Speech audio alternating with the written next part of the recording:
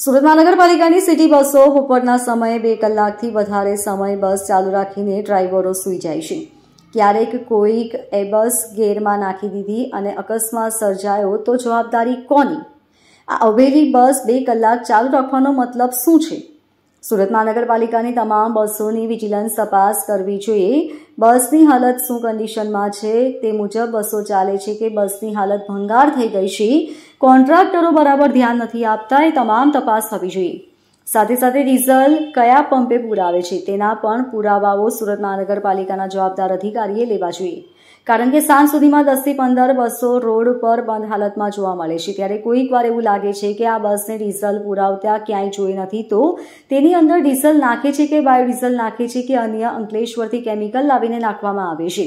ક્યારેક એવું લાગે છે કે તક્ષશિલા ઘટના કરતાં પણ મોટી ઘટના બીઆરટીએસ બસમાં બનશે. આખી આખી બસ ભરતું થઈ જશે.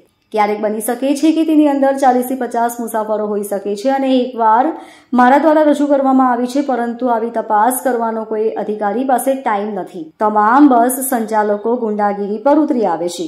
જ્યારે તપાસની વાત કરીએ છીએ, ત્યારે આનું કારણ શું? હાલમાં જવાબદારી નવા અધિકારીઓને મળી છે. હું આપને જણાવવા માંગુ છું કે આ તમામ તપાસ કરવામાં આવે, જેથી કરીને દૂધનું દૂધ અને પાણીનું પાણી ખબર પડે. નહીતર અમને લાગશે કે તમે પણ બસ સંચાલકોના સેટિંગમાં બેસી ગયા છો અને રૂપિયા બનાવવાનું ચાલુ કરી દેવામાં આવ્યું છે. Bureau report LK star news Surat.